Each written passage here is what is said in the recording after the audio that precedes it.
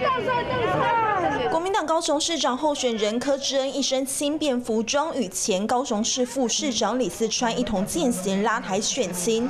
蓝营政治人物纷纷来助阵，拼路战没闲着。三十日教师晚会，前总统马英九、党主席朱立伦等人南下站台。马英九抨击高雄浮尸多，表示连池潭、爱河和高雄港有二十一具的浮尸，高雄是六都之首。十年高雄自杀死亡的有四千七百人，但这话陈金市长陈其迈而立。这自杀议题不宜在啊选举这样来进行炒作啊！我就任之后，专业的人员啊，大家共同的合作，那这个自杀率也有所下降。陈其迈几句话回击柯真阵营，随即拿出数据，指出一百一十年高雄因为溺水而自杀的人数是六都最高，不甘示弱回呛，是根据数字来说话。只是希望他能够面对这样的一个问题，而且我要特别提出来，根据数据所显示，一百零九年跟一百一十年高雄的自杀率是上升的。我不晓得他们拿出来告诉我们说逐年下降的意思在哪里。市长选战倒数冲刺阶段，高雄自杀率的议题也成。成为蓝绿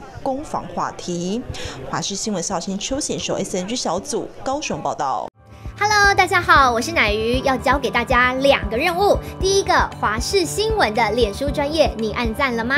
还有华视新闻的 YouTube 频道，赶紧订阅起来，还要记得按赞，开启小铃铛哦。